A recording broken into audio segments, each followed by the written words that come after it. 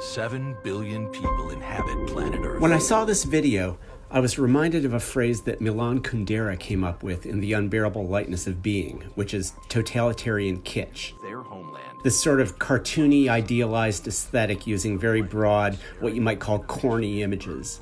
And you see this in the aesthetics of a lot of authoritarian regimes. Vladimir Putin being photographed shirtless. It's a corny, ridiculous image.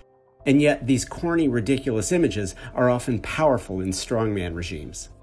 Looking at it objectively as a piece of film and a video being used in diplomacy, it's kind of hilarious. There's so many cornball cliche images. To be the future. But in political kitsch, often corniness and cliche is the point. Cliches are images that everybody's seen before. They're images that everybody recognizes, and therefore they're images that you can count on to have broad mass appeal, even if it's not sophisticated appeal. Their story is well known.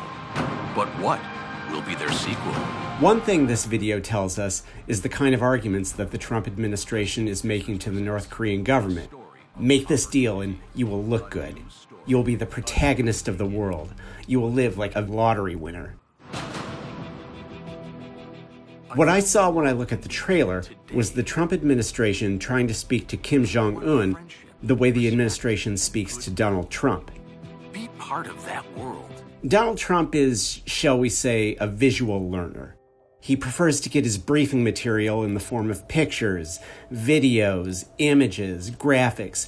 Preferably, the material references his name as much as possible in order to keep his interest. One thing that's a constant in Donald Trump's career is his use of big, broad, cartoony symbols to get across big, broad, cartoony messages. Bradford, you're fired. How do you make yourself a celebrity as a businessman? How do you create the idea that you're the most successful businessman in the world, whether you are or not? Well, you build a giant skyscraper with your name on it in three foot tall brass golden letters. And that's what made Donald Trump so fitting for reality TV. Reality TV likewise communicates in big, broad symbols desert islands, roses, there's this theme with him of sort of seeing himself as the protagonist of a show that he and other people are watching. It comes down to a choice. So this video is reaching out a hand to Kim Jong un and saying, Work with me. You can be my co star in this show that everybody else is watching.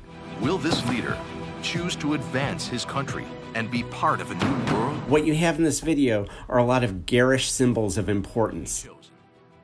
This montage at the beginning, for example, where a big image of the North Korean flag is equated with the Colosseum and the pyramids.